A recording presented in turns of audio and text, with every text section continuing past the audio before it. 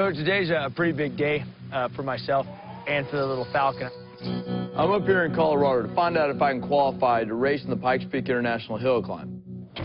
It's a road race that began over 90 years ago, where drivers race their cars up a crazy 12-mile mountain road to the 14,000-foot summit of Pikes Peak.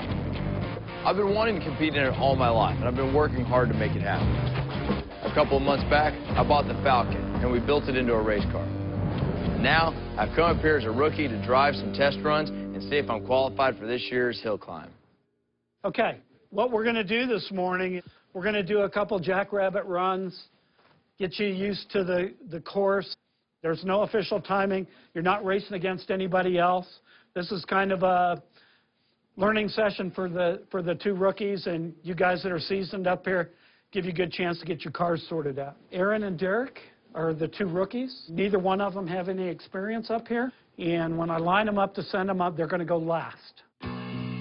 That's it. Should be a beautiful morning. I mean, uh, full moon and sun's going to be coming up here in a few minutes. You got a great race course. I came up last night, and I think it's going to be fast and it's going to be a lot of fun. If you don't have any questions, 5:15. I plan on going green, so you're ready.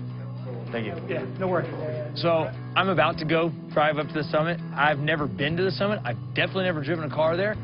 My concern is that I make a mistake and that costs me my life for a bunch of money. The other concern that I have is that the Falcons is just really not prepared for it. I didn't take into account the three runs. We may not have enough fuel. And so I'm worried that I'm woefully inadequate in many arenas. So see if we can keep it together.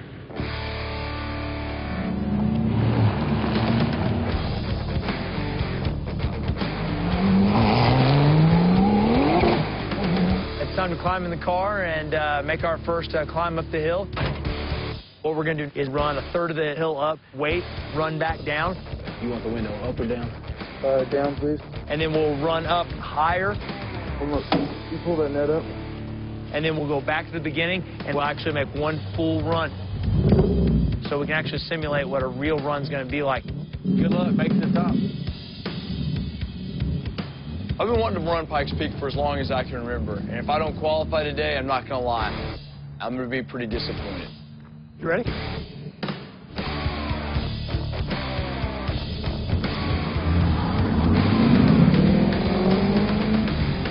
You know, the possibility of dying here is 100%. Right now, we need to prove that we can go to the top safely.